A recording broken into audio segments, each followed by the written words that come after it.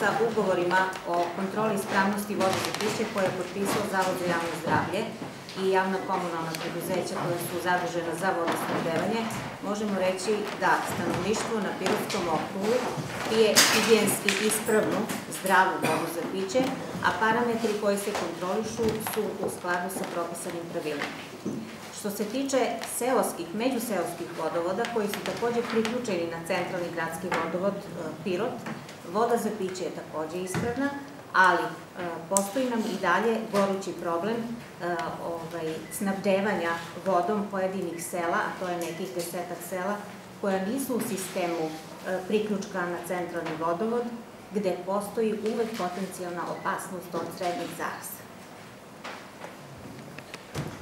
redovno vršite znači, analize i pretpostavljam da da tome obavešavate redovno i štab i javnost. Tako. Inače će u pisanoj formi opštinski štab po dogovoru dobiti informaciju o svim parametrima kvaliteta voda za piće. Znači, voda za piće na Pirotskom okrugu je apsolutno ispravna.